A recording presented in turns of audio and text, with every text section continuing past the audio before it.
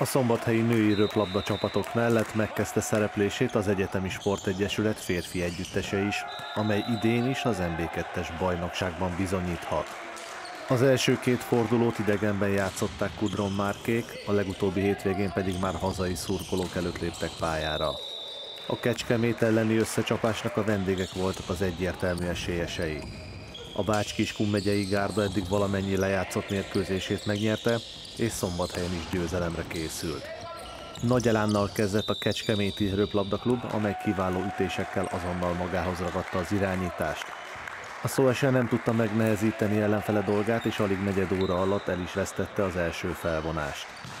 A folytatásra rendezte sorait a házigazda és Szabó Gábor kiváló játékával fejfel mellett haladtak a csapatok.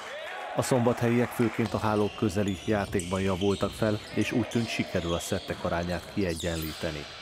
A játszma hajrájában viszont elég volt néhány apró figyelmetlenség, a vendégek pedig köszönték szépen a lehetőséget, megnyerték a második felvonást is.